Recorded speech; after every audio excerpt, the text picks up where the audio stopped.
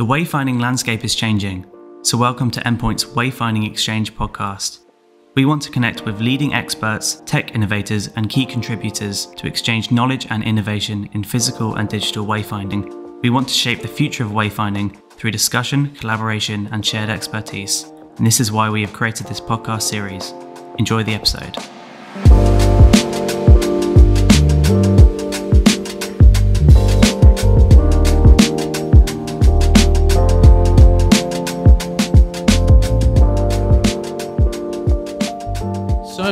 Back to our latest episode. Today, we've got with us Riccardo De Franceschi. Uh, Riccardo is creative director at Dalton Maag. For those that don't know, uh, which is probably unlikely, Dalton Maag is an international and independent type design studio. They have over 50 type designers and font developers, creative directors, software engineers, spanning 25 nationalities and speaking some 14 languages. They've worked for everybody from the big tech companies like Google and Amazon to place branding initiatives for Rio 2016, Vienna City, and they work with clients large and small, local and global, on a range of type related services, including logo refinements, font modifications, as well as small, medium, and large bespoke custom fonts. So it's great to see you again, Riccardo, and thanks for your time on this. Typography is pretty much at the the heart of everything we do in terms of communication for the built environment. Um, so it's always it's always interesting to hear your thoughts and you know discuss what's happening in the world of typography. So just to kick off, tell us about Dalton Maag. Um, explain some of the projects you're working on, if you can, or have worked on that might be relevant to to our space. Mm-hmm. Hello, hello, Gideon. It's, it's great to be to be here, and uh, thank you for for having me, and thank you for for having us. Yes, so uh, Dalton Maag is a type design studio. So what we do, as you mentioned already, is uh, designing new typefaces and implementing them into fonts. Uh, so we don't do graphics for uh, web print animation we just focus on the uh, you know the world of typefaces the wonderful world of typefaces um, so I think one thing that I like to stress, as you did already, is the fact that we have so many different uh, nationalities in our team. I think is a great uh, asset to us to have so many cultures mm, represented in our team, and also it's very useful when it comes to working with uh, with different brands from different places as well. Myself, as you mentioned, I am a creative director. I am originally from Italy, Milan, hence my strange uh, accent, and I think when it comes to what we are involved with at the moment, I would probably start from our uh, library, our catalog of retail typefaces, which is always an interesting uh, place to start from because it's a bit of a can be a bit of a playground where we play with different things that are getting us excited to do, for instance, with technology, font technology. And perhaps we haven't had a chance to work with commercially yet. So we set our own brief and use our library to explore that theme. One thing I'd mention in that sense is a project called Shader Color, which is a typeface that we developed recently, and it's uh, a type that uh, takes advantage of a recent innovation in font technology to do with uh, color fonts being much more powerful they've, than they've ever been before in terms of enabling things like different shades, uh, transparency, as well as different palettes that a user can select from.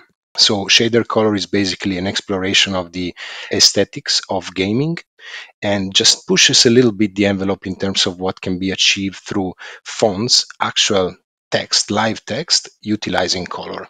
Other than that, we are involved with the usual uh, sort of uh, custom fonts that you mentioned. We have quite a few uh, running at all times. Because of NDAs, I won't be able to, to talk about them in detail, but yeah, we try and sort of uh, keep ourselves busy with with those as well. And uh, yeah, I think that's it in a in a nutshell, really. One thing we, we do uh, a lot is different writing systems. So there's always different languages and scripts being developed. Yeah, cool. So, I mean, just going back to your shader color font, was it? So, uh, I mean, I guess through the history of Dalton Maag, you, you know, you've seen typography go from, I guess, purely print to very much in the digital world. So, it was interesting you mentioned gaming. Is that is that a market for you guys? Are, are big games coming to you guys for you know bespoke typography? Yes, uh, but it's also something that we would like to measure ourselves more um, with going forwards. And um, it's definitely an exciting field in that it sort of touches upon the theme also of um, augmented reality and virtual reality, which it's a very popular area. And going forward, I think we'll see more and more stuff happening there. So um, yeah, definitely, it's a field we'd like to do more work in going forward. Yeah, yeah, I, I, bet as the as the metaverse continues to grow, I'm sure there'll be a, a need for typography and branding. I mean, what are some of those challenges for translating a typeface, you know, into our world, the built environment, where I guess scale is is normally an element. You know, how's that different to developing typefaces for for digital purposes? I mean, now for us, navigation appears on signs, it appears on maps, it appears on apps. You know, what are the challenges creating a consistent typographic approach for all those different mediums? Um, where I would start from is saying that uh, um, in the built environment, uh, as we intended traditionally, we have uh, a physical component, which I think it's a very exciting aspect. And humankind has always used uh, depth and light to project shadows in order to create exciting uh, lettering, pieces of lettering in, in signage and in, if you think of inscriptions or applied letters. And that's something that uh, wasn't quite possible in digital, I would say. But now with virtual reality, that conversation I think can start and we can start looking at how to perhaps reproducing some of those experiences in, in a virtual digital environment as well. When it comes to wayfinding uh, particularly i think one important aspect that defines lettering wayfinding traditionally in the built environment is uh, the fact that they are permanent so uh, they come with a cost of implementation as you go and produce uh, signs, uh, and they are meant to be looked at uh, from a distance as well, which comes with certain accessibility, legibility requirements. So I think historically that has determined a little bit the kind of letter styles that you would have uh, on signage. And I'm thinking of fairly compact letter form with very large x height, meaning the height of your lowercase x, so that the letters are really as legible as possible while keeping uh, or while occupying as little space as possible and containing the, the, the cost of production that way. Now, when we go into the digital environment and the the, the, UI and UX environment particularly, uh, you have different challenges such as uh, working with text that needs to be read at smaller sizes on your screen, you know, handheld device, and uh, perhaps used to set also sentences or short passages of text, which really requires for letters to be wider and have more generous proportions that allow them to breathe uh, better. In our experience, we have a case which is very interesting in this sense. is a typeface called Stroudley, which we developed for signage, uh, and therefore it has fairly compact uh, proportions. But then a couple of years ago, we derived from it a typeface optimized for UI and UX called Dark Mode, uh, that again, among other adjustments, have uh, more generous and sort of wider and more comfortable proportions. Uh, I think that this is the kind of uh, question that we are facing now how to um, integrate the uh, sort of uh, uh, physical um, built environment experience with the digital aspect of, of navigation. And that's something that clients have been asking more and more uh, for in the recent uh, years. And um, I think it kind of leads us nicely to the conclusion that, as it was said before in this post- podcast series of, of yours, at the end of the day, what we are after is a way of enabling a navigation experience which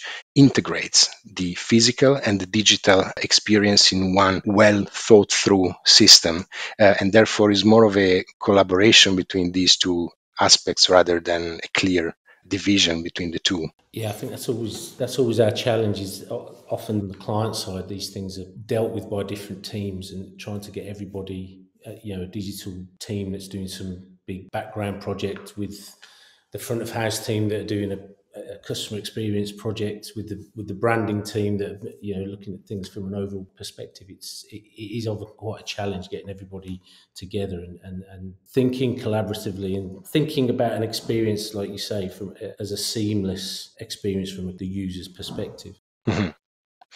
I think Gideon, in that sense, the I think typography can really be sort of a an element that brings different departments together as well. You know, because uh, it can run through as a theme and really unify the experience. I believe. Absolutely. Um, so, I mean, just going back to some of those legibility and readability components, just for our general audience, for signage, for instance, for built environment, you mentioned the X height. Are there are there other characteristics of, of a typical typeface that lend themselves to being more legible than others? Um, one thing I'd say straight away is that this is as much about the typeface you choose as it is uh, about how you use it as well and you can kind of easily uh, ruin or butcher you know the, the, the, performance of a, of a good typeface by setting it poorly. Um, now when it comes to the anatomy of, of the typeface and uh, what makes it uh, uh, legible readable and, and accessible again we mentioned the the height as you just uh, touched on. I think the height really has to do with the breathing space that your alphabet has in order to achieve clarity and a crisp uh, appearance on the page whether printed or, or digital. Other features that help a lot in that sense are uh, open counters, if you think of your lowercase a or e, an open aperture that breathes also at smaller sizes, generous letter spacing. We know from uh, research that that is uh, one of the most important aspects. I think also of weight as a very important element, meaning you want to have a system that allows you for enough distinction between your bold weight in order to create emphasis against your regular you know core weight in your system. You can think of it as you do with uh, perhaps color in uh, accessibility when you set your uh, text in black on a, on a yellow background or vice versa right? Think of an airport and you want to create that kind of distinction. So uh, bold needs to stand out compared to to the regular and another important aspect to do with weight is that uh, you want to understand what's the minimum size that you can afford using your lighter weights such as hairline or thin uh, or your darker weights such as extra bold and heavy so that the former don't become uh, too feeble to work and the latter don't become too crowded to work. Size is a very important aspect, especially in relation with, with weight. And finally, I would mention uh, um, variation. So the fact that you want to have uh, disambiguation between letters that may be confused. Think of uppercase I and lowercase l, which we often recommend having a little hook at the bottom, uh, but also variation of proportions where the width of your letters is organically varying across different characters rather than being modularly standardized. And you know, there's a place for that as well, perhaps in a headline font. Uh, but when it comes to, again, enhancing the reading experience, we want to see some variation in, in, those proportions to create a bit of a human friendly reading experience with an organic uh, rhythm. We often have, well, often, we, we've come across situations in the past where we, uh, maybe the, the brand has a, a typeface that they want us to use for wayfinding and navigation and um, you start looking at the numerals, for instance, and the and the numeral one is just a stick. You know, there's no character to it at all, and it, it could easily be confused with a with an L or an I. So we, we, it's one of those times when we often have to ask for the the um, the typeface to be modified.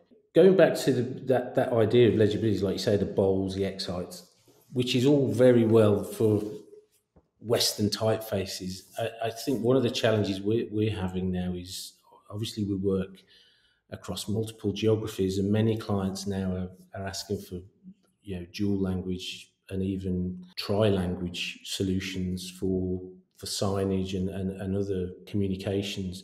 I guess this is where your international team come in. How do you how do you get over the, the challenges of legibility in languages with different characters abroad? Um, well, this is a super fascinating subject and a, and a very, very big one.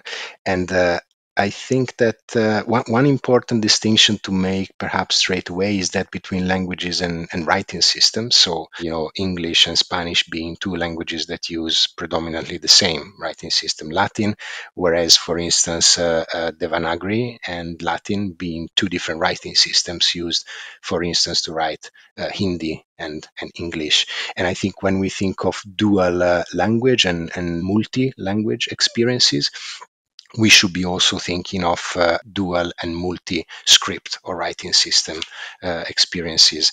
What uh, I would say is that one of the biggest challenges is that of sort of uh, uh, making sure that uh, when matching different languages and writing systems, the size, the, the visual size of the letters, uh, as well as the color, the typographic color is compatible so that you can uh, create a similar structure in your documents, in your contents, and a similar hierarchy as well between different elements within that system of contents that you that you have.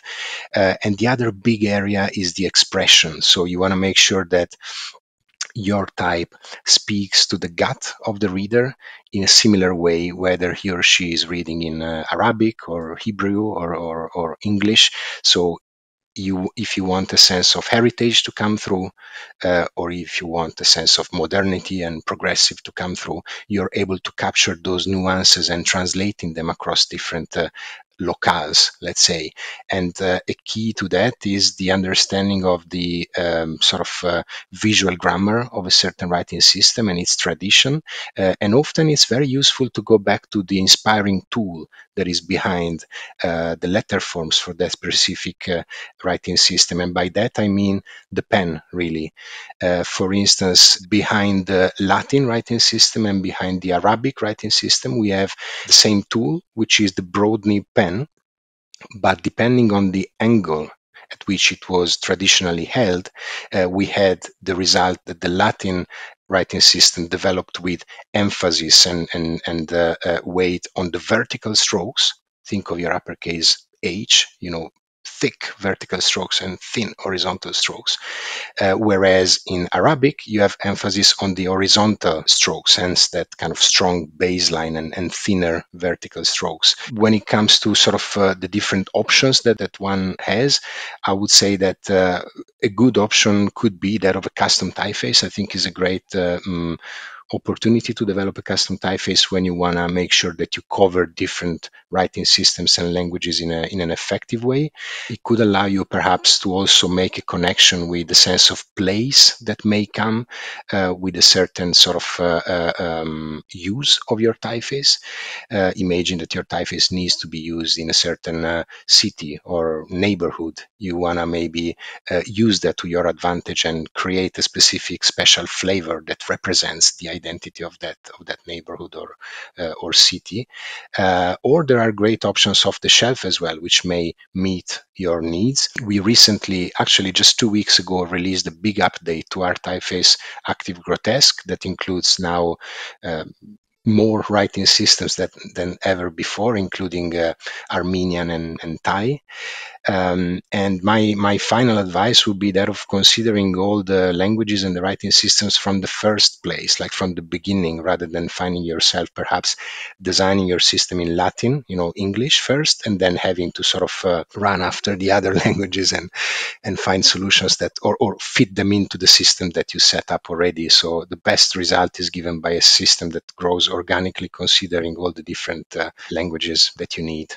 So it's yeah, choosing typefaces for different writing it's not as easy as just matching stroke widths and looking for similar curvatures. I guess what you're saying is that they could be interpreted locally, you know, differently to how Europeans interpret the typeface that we're trying to match to. It's a cultural thing, and I, I you know, I guess people can go to you for that sort of advice and that sort of knowledge because it's very easy for us as uh, Western designers to, like you say, choose a typeface we're familiar with and then just try and match typefaces to that so they look sort of similar and proportional. But actually culturally they might be saying something completely different. Absolutely yes. And uh, um, i think as a, as a brand or as, as, as, an institution is you know it's more and more important that you show the sensitivity that is behind kind of uh, uh, making sure that your visual system works across different cultures. And uh, we help a lot of brands. We've done this with uh, uh, with airbnb or facebook for instance in the last few years. Again achieving a, a look and feel that looks consistent across the different countries. It's also a case of kind of uh, empowering users from different places to have the same sort of visual expression of their contents. You know, type is about written communication. That that's what it is about. And uh, the, the example of our work with Facebook comes to mind, where we designed a typeface for their camera app which is what you use when you when you type your stories in in Facebook and you want to write a bit of text underneath your picture or something like that, or superimpose onto your picture. And there, uh, uh, we designed a few different styles a brush script, a modular constructed compact uh, style and so on. And we wanted for these styles to be available each of them across the different languages you know chinese arabic uh, english and so on uh, so that a user would be able to express their message as they were communicating their story uh, with the same freedom of choosing between different uh, moods really it's just fascinating. I mean, just briefly going back to that, you mentioned the original tool. So you said for Europeans, it's the, the thick nib. We've just opened a studio in Singapore, and obviously now we, we're dealing with you know different languages, different writing systems around there. Is it is what's the origins there? Is that more is that more to do with the brush rather than the the nib? Yes, there would be more of a brush derived uh, kind of a, a contrast or, or, or, color when it comes to the stroke. Uh, and uh, yeah, that sort of uh, can be used to understand also how the shapes, you know, and the, and the characters are, are, are shaped. Um, I think the one of the biggest challenges when it comes to Chinese, particularly, is that of sort of uh, designing type and sort of choosing type uh, in such a way that the typographic color is compatible with other writing systems is in that Chinese can become quite dense on the page. You know, compare for instance with the Latin writing system where the the, the letter forms are incredibly uh, simple comparatively. So you know you may want to have a, a monolinear typeface with low contrast. Imagine something similar to Futura, like a modern low contrast sans serif typeface. When you go into Chinese, you'll have to actually reduce the weight of your strokes, maintaining them monolinear, but reducing massively the weight so that things look visually comparable, especially at smaller sizes on, on the page. So, uh, just to go back to your question of whether this is trivial, I would say it's not trivial. there is a lot of kind of a, uh, a lot of uh, experience and knowledge that needs to go into this uh, into this, which at the end of the day is you know typographic uh, matchmaking, typographic matching uh, across different writing systems. Again, in order to make sure that the communication in different languages happens with the same power and the same effect across different places and, and languages and cultures. I mean, we, one of the challenges we find when discussing or suggesting fonts type to, to our clients, and, and actually trying to push for something that's quite bespoke and, and, and you know captures the spirit of whatever the project is, the architecture, the, the town, the city. It's often seen as as you know as quite an expensive uh, thing to do. Obviously, not everybody's got the money of Google and Facebook and the, the big tech brands. But is there are there ways? I mean, you modify type as well as creating bespoke, brand new typefaces. And is most of your work modification um, rather than you know new? And and are there approaches you can take to you know create a, a, small family that's right for a fairly modest architectural project rather than a you know a full suite of, of all the different weights etc etc explain to us maybe and, and and hopefully some of the people listening to this that actually it's not as scary as, or as expensive as people think to have something that is um, fits for them uh, without going down the whole route of a, of a brand new typeface. Well, I would say that uh, the custom route remains the most powerful because you're basically crafting something from scratch and you are in complete control of all the aspects and requirements from a technical as well as an aesthetic point of view. There are ways, though, to keep the price of a custom typeface down, such as uh, uh, working on what the two main variables are the size of your uh, character set, meaning how many languages are being talked by your type. Uh, so we do offer, for instance, something called English only campaign character set, which is a very agile character set that is uh, tailored upon the requirements of the English uh, language, and uh, uh, it doesn't include too many punctuation marks, for instance, that you may not need for your standard daily use. Similarly, you mentioned weights. Uh, there are ways of, of course, containing your weight system and your, your, your style system so that you just focus on whatever the weights uh, uh, that you need are. Uh, if it's a typeface for an architectural project or the sort of brand of a, of a neighborhood, you may want to just focus on a display alphabet single weight for your, you know, impactful text where you want readers to or passerbys to look at it on top of reading what's what's written, and perhaps with the more sort of reading intensive um, contents, you may license something off the shelf. So it could be a bit of a uh, mixed approach. Now, modification is also something that we do uh, a lot, as you mentioned, and uh, uh it could be more affordable. Yes, it could, it's it's it's usually um, faster, of course, because you work starting from an existing starting point, and uh, you go and make tweaks or change more or less depending on how much of an involved change you desire, uh, and it can get you to a to a specific place. Certainly, it's quite a, it's quite a powerful result. That as well. One thing to mention is that uh, a modification doesn't quite involve a transfer of IP uh, to the end client. It involves exclusive use of that version of the typeface by the client, but the IP, the intellectual property, doesn't get transferred.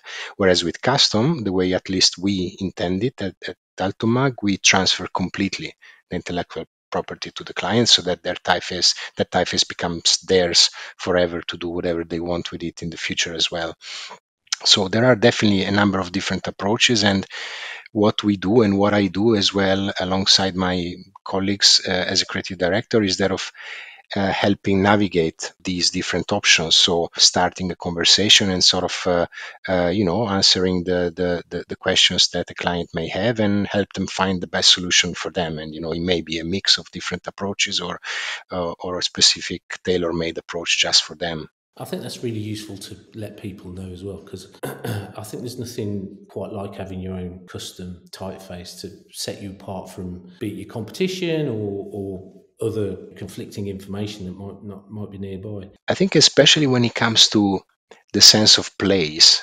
identity. I believe that there is a huge potential there, and uh, we've started seeing uh, as type has become perhaps a little bit more popular as a topic in the conversations within the design uh, scene. You know, I studied uh, uh, when the Vignelli theory was still dominant of, you know, you need just uh, five or six typefaces and that's it. I think in the last years there is much more attention around diversity in type and, and, and bespoke uh, solutions as well. But I feel that in the area of place branding, particularly, whether you're thinking of uh, the brand for a nation or down to you know a set of buildings i think that there is a huge uh, potential for institutions to do more and sort of uh, capitalize on what the special flavor of their place is and building on the heritage that that place has or thinking also of uh, different forms of designing such as co-design which is very popular uh, in the last in the last few years. I think something an approach of that kind could really help shaping a typeface that feels and looks like a certain community. I just like to sort of stress that there is a lot to be explored there, and and you know I hope that uh, that myself and us will be uh, part of more and more conversations around that specific area in the in the future. Definitely, I mean it's um, I, know it's you know this subject is very close to all of our design teams' hearts. Uh, they're all typographic um, well, probably not nerds, but you know, they it's it's very it's very dear to their hearts, and um, I think this is partly why we like this format because hopefully, you know, potentially clients who maybe not as versed in you know typography, the power of typography, you know, they, they've not had they've not gone through that process of thinking why things feel different. You know, it's just a list you choose on the computer, um, but actually, it's had such a profound effect on on how people feel about place, how they interact with a, a, brand, how they feel about a brand. So it's it's I think one of those often overlooked things by uh, clients, and it's it's often it is the design teams who are really trying to push and and almost educate. So hopefully. uh, hopefully some clients will listen to this and, and not be quite as um, scared or ill-informed about commissioning something that's you know special and and for them. So yeah hope, fingers crossed. Um, we always ask about um, technology the future. I mean where do you see you know what, what are the trends? What's happening in the in in, in the world of typography? I, I know you touched on ai and metaverse earlier. I mean, are you what are you seeing? What's keeping you awake at night with excitement or dread?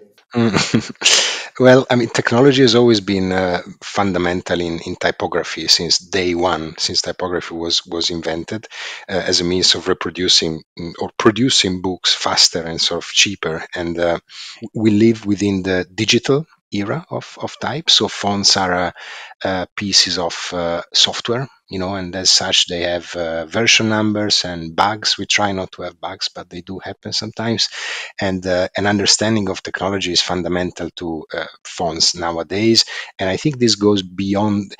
It can be sort of looked at on three different levels, meaning the actual font making, making of fonts, uh, but also typesetting, you know, and the technology behind uh, setting your your text, uh, as well as rendering technology. So how your type shapes up on screen and how uh, your your text gets rasterized into into pixels. Now, when it comes to the present and the future and what keeps us up at night, as you put it. I think one uh, very fascinating aspect is variable fonts, uh, which is the technology that basically allows you to produce, mm, ship, distribute, and access different weights in your type system through one single font file. And that makes the file size smaller and makes the implementation logistically easier that works particularly well or can work particularly well as the uh, technology becomes more and more spread in the design community in order to uh, sort of enable responsive design. Think, for instance, of uh, optical sizes and the fact that we know that type in order to perform best when set large needs to be adjusted in a different way than uh, it does in order to perform best when set small at small sizes.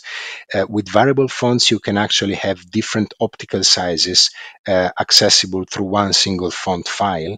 And there are also recent developments where the software will pick up automatically the best possible version of that typeface uh, optically, you know, uh, based on the uh, point size or pixel size that you specify in your in your document. So I think this is going to be very exciting in the in the future. Responsiveness, I think it's a, it's a big word that that has made it into type thanks to variable fonts. Another aspect is AR, MR, VR, all the R's that you can think of, uh, especially augmented reality. You know, for for us, our world, that of uh, sort of, uh, or, or, your world, I should say, that of uh, uh, wayfinding and navigation. I think it becomes more and more important to think of how your text shapes at the intersection of that digital and that physical experience we were talking about before, uh, through a handheld device, you know, on your screen, or through goggles as well going forwards. How text uh, is used on your uh, screen in order to sort of uh, uh enhance your navigation experience interacting with physical elements that are there to be used as well as uh, uh, as navigation elements. And finally i would mention the big topic of um, artificial intelligence, which has been sort of the hot topic in the design and beyond design conversations for the for the last uh, few months and weeks.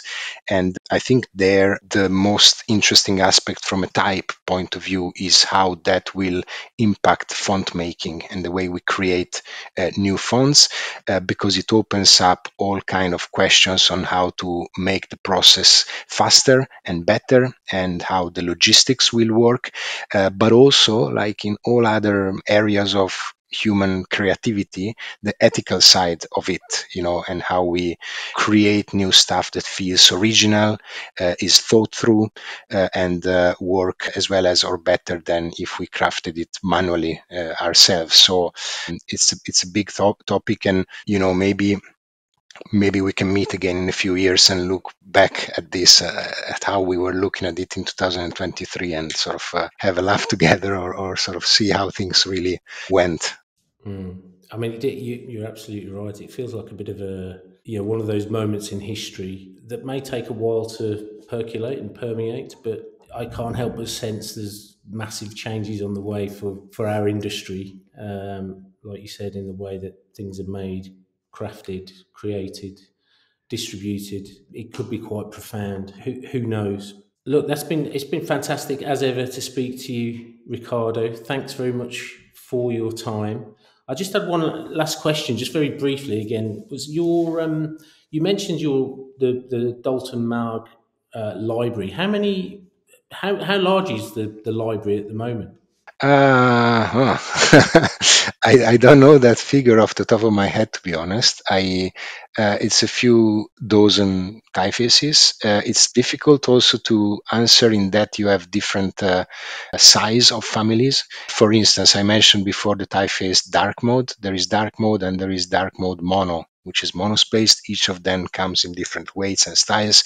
Uh, but all I can say is that that is ever growing, and uh, we try and go and cover different uh, uh, areas and different sort of uh, visual fields that we haven't touched yet. And so it's a constant evolution, and we we try and include new writing systems all the time. Yeah, I mean it's one of those aspects where perhaps the whole pandemic uh, phase somehow had some beneficial effects in that we were able to focus more on the library, on our own catalog, whereas before we were uh, invariably busy with custom work. So I have to say that in the last, let's say, three, four years, we really kind of stepped up our game when it comes to the library and we were able to add quite a, a few new exciting designs. And at this moment in time and uh, for the future as well, uh, what we do and what we want to keep doing is devoting a certain percentage of our studio time to library work, no matter how much custom work sort of we have, because we find that's a very healthy practice, again, in order to go and experiment with, with different things and, you know, push a bit the, the, the creative envelope as well. So yeah, I would say stay tuned because there is definitely more to happen there in, in the library. Brilliant. Well, look, if someone wants to um, get hold of your library or, or have a conversation with you about something more bespoke, what's the best way to get in touch with you? So that would be www.daltonmaag.com. uh, and uh, um, the email address would be info at daltonmaag.com. And uh, of course, we also, you know, reachable and available through the social media, you know, LinkedIn and Instagram and Twitter. So definitely, I, I would just encourage everybody to get in touch and send us a line, anything to do with type and fonts, because uh, uh, we're very passionate about this. And I think it's, it's good to start a conversation. Then you don't know where it it will lead you. But you know, I think it's always good to uh, to chat things through and uh, and leave no stones unturned when it comes to embarking on you know a journey to do with the type system in the typography of your of your brand or or institution. So do get in touch. Absolutely get in touch with these guys. I mean, I think you you know your reputation, and I'd imagine most people in with anything to do with graphic design or, or even branding has come across the name. You know, it stands for craft, attention to detail. So reach out to Riccardo and Dalton Maag for all your typographic requirements.